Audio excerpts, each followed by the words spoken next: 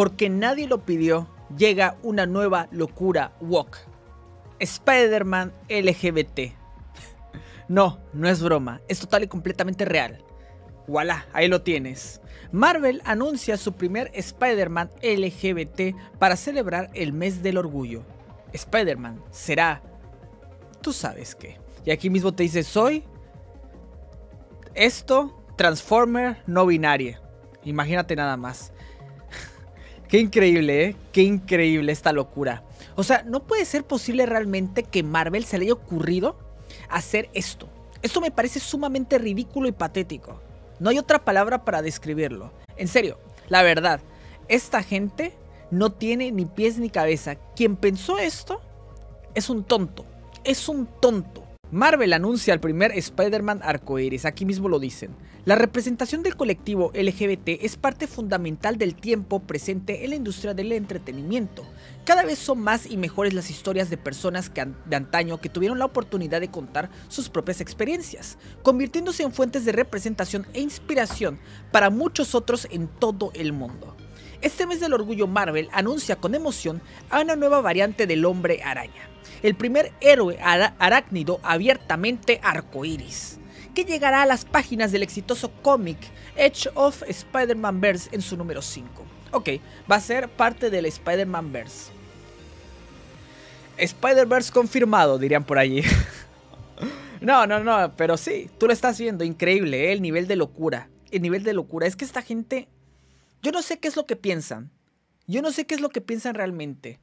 Yo creo que en su cabeza es espectacular. Yo creo que en la mente de estos maníacos de la progresía woke esto realmente tiene algo de sentido.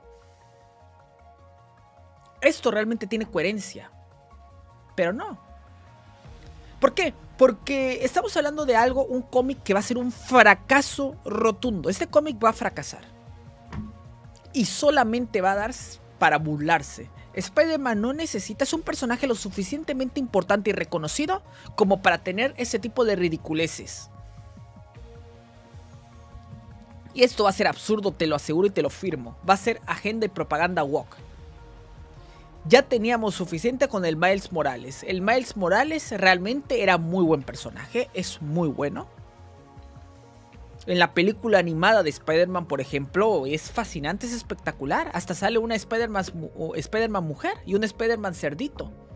¿Te acuerdas de esos personajes? Y sin embargo, si era cerdito, bueno, no me acuerdo, pero bueno, sin embargo, eh, parece que nada de esto es suficiente y ellos quieren ponerte a un Spider-Man arcoiris. ¿Por qué?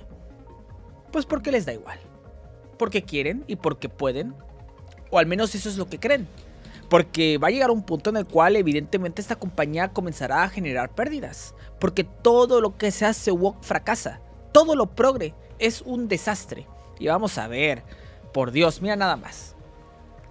Spider-Man No Way Home sigue siendo un éxito y está cerca de superar la taquilla de Avatar. Esto es una película que siguió lo que la audiencia y lo que los fans querían, ¿va? O sea, en esta película se hizo caso a los fans, se hizo caso a los verdaderos seguidores de esta franquicia, no una bola de maníacos, llorones, que lo único que saben es quejarse por absolutamente todo. No se hizo alguna tontería de inclusión forzada que ya se había hecho un poco con la ridiculez de Mary Jane, de MJ. Ya se había hecho un poco esa ridiculez, pero bueno, eh, digamos que en la, en la tercera película se le perdonó. Como que la tercera película ya lo hizo bastante mejor y hasta se le ganó un poco de aprecio. Entonces, al final del día todo resultó bastante bien y fue una película sumamente exitosa a pesar de ser post pandemia. Y ojo, esto es una película bien hecha, bien estructurada, con una historia decente. Tampoco vamos a decir que es una obra maestra, pero es una película decente. Sin embargo, del otro lado, tenemos esto. Eternals, una película walk. Es el segundo peor fracaso en taquilla del MCU. Es que yo lanzo esta pregunta. ¿Ustedes no aprenden, gente de Marvel? ¿Gente de Disney? ¿No aprenden en verdad?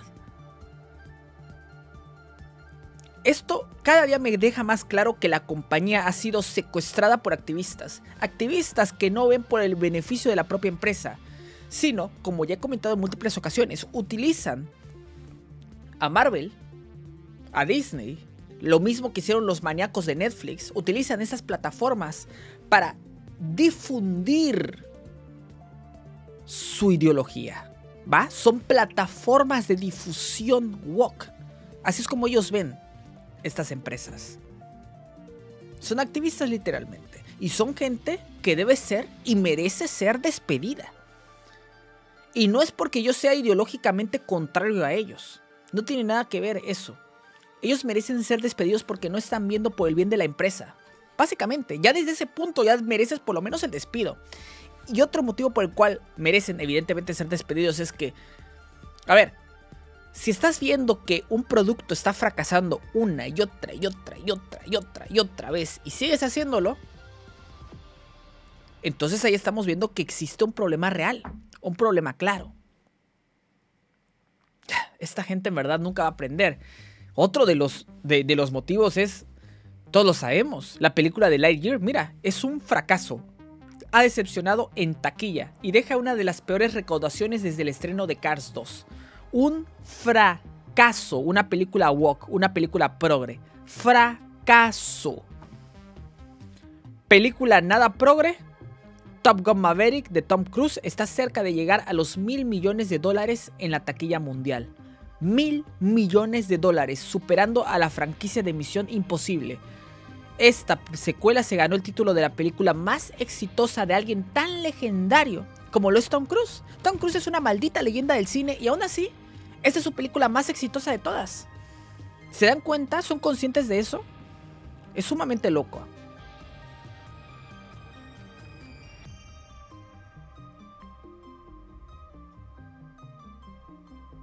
Ahora,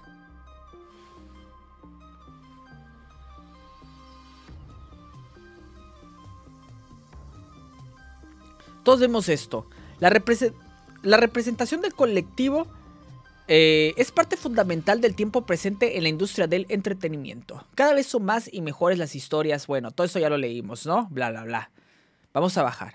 De acuerdo a Steve Fox, novelista y guionista de cómics ganador del premio Eisner, y autor de más de 75 títulos, incluyendo X-Men 92, House, bla bla bla, muy pronto verá a la luz una de sus creaciones más nuevas. Se trata de una nueva encarnación del hombre araña que llegará a las páginas del cómic en el número 5 de septiembre.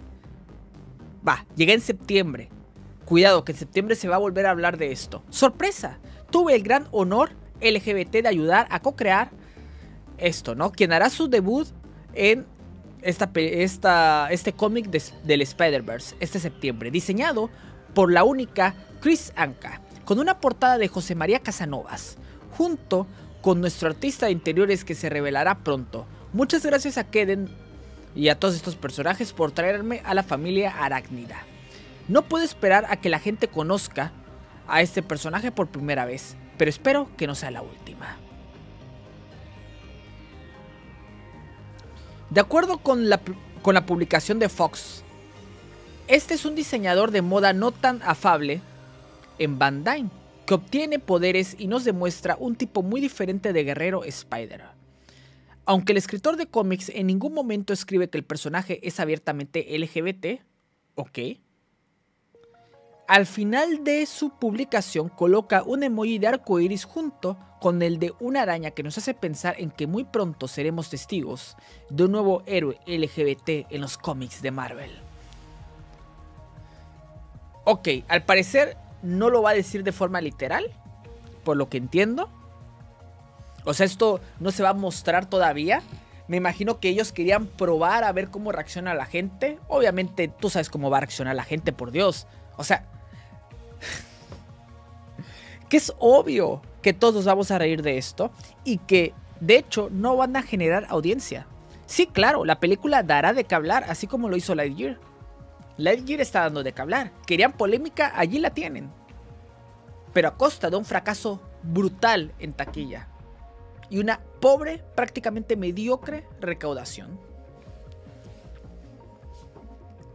Ahora, eh, tenemos esto, ¿no? Este, este cómic se encarga de expandir al lore del hombre araña, presentado en variantes muy interesantes del personaje. Héroes que incluyen a todas las razas, etnias, capacidades, edades, ay Dios mío, y sexos. Aunque el número 5 del cómic llegará hasta septiembre, los creadores de Web Weber anuncian a su personaje en pleno mes del orgullo como una agradable sorpresa. Ahora viene Ahora vale la pena preguntarse si el héroe tendrá la oportunidad de llegar más allá de las páginas de cómics. Mientras tanto, el hombre araña sigue adelante su camino en la pantalla grande. La siguiente película del personaje es Spider-Man Across the Spider-Verse, parte 1. Una aventura animada que, eh, por Sony en la que veremos regresar a Miles Morales, quien tendrá que dejar su dimensión para sumergirse en un océano multiversal que le permitirá conocer nuevos rostros, aliados y enemigos. Ok. Tras el éxito de la primera entrega, porque sí, ojo, la primera entrega fue exitosa y aquí no pueden venir los progres a decirnos, oye, que ustedes son de lo peor, ustedes no consumen ese tipo de contenido. La primera entrega tiene a un héroe que es Miles Morales, que si no me equivoco, no me equivoco es republicano, no es, perdón, es Sí, es caribeño, literalmente. Este tipo es caribeño. Entonces, imagina nada más que tienen un héroe caribeño de color puertorriqueño o es dominicano, algo así.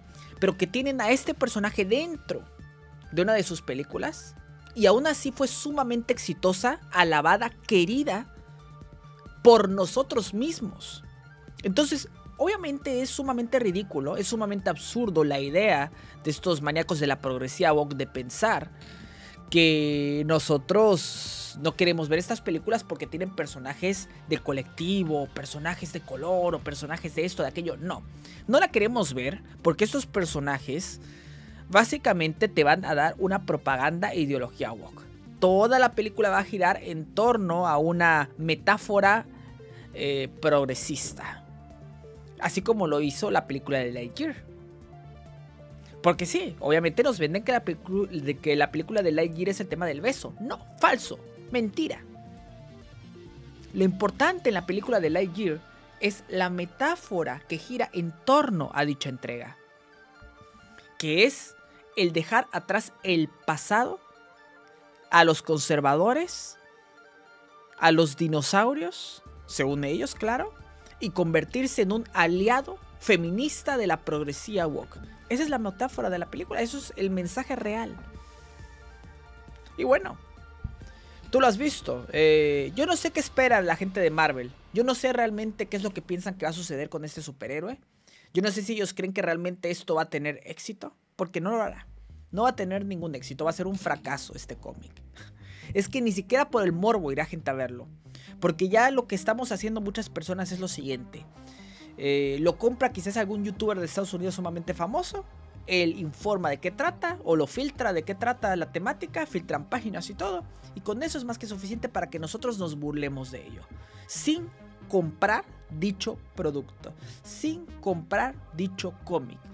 ¿Qué es lo que esto significa? Que al final de cuentas la gente lo va a consumir por el morbo, pero sin darles dinero a ustedes. ¿Qué es lo que ustedes quieren? Claro. Que ojo, que esto igual es malo. Porque ellos vienen y nos acusan a nosotros de ser unos homo, espacio, espacio fóbicos y ese tipo de cosas. Los de Marvel, los de Disney, nos señalan con un dedo y nos dicen ustedes son lo peor de la sociedad porque no aceptan ese tipo de cosas, cuando simultáneamente estas compañías están banalizando a esos colectivos o a las personas con preferencias diferentes. Ustedes los banalizan. Ustedes los utilizan política y económicamente. Dense cuenta, gente del colectivo, dense cuenta, feministas, las están usando. Se están aprovechando y burlando de ustedes. Nosotros no somos el enemigo, el enemigo son ellos. Y entre más pronto despierten, esto será un mundo mejor. Nos vemos en la próxima.